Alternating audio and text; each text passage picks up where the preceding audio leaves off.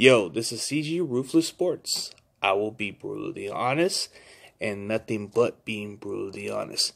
Coming at ya with another video. Anyways, former Niners defensive lineman Ronald Blair has visited the 49ers. Yes, the same guy who got cut before free agency.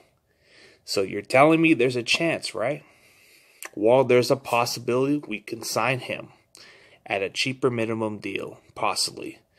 So if that means if we can sign him, that means our defensive line depth is pretty stacked, right? Pretty much.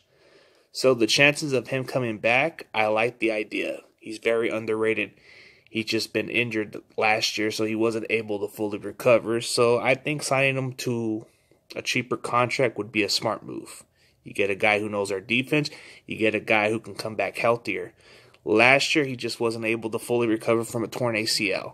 When healthy, he's a hell of a good player. So, what do you guys think? Like, what do you guys think about? Like, what do you think? Should we bring him back for a cheaper contract or should we just pass on him? Let me know on the comments.